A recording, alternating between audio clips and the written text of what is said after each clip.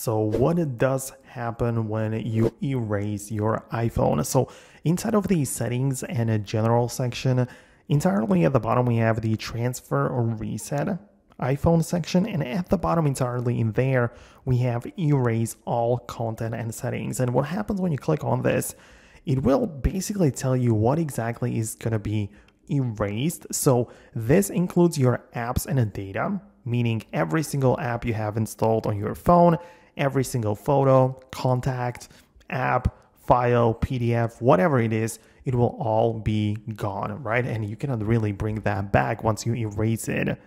You will see that also your Apple account will be removed from the phone, the Find My activation lock, as well as all of your wallet cards. Like if you have any credit cards added or anything else in the wallet, it will also be gone.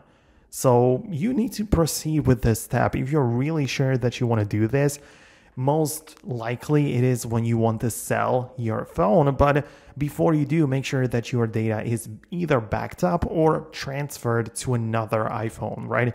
A lot of people buy new phones, transfer the data from the old one, and then erase the old one for selling. So, this is the most likely scenario when you want to do this. So I hope that I explained it properly on what's really gonna happen or how it works. If you have any additional questions, leave them below. Thanks a lot for watching and I will catch you later in the next tutorials.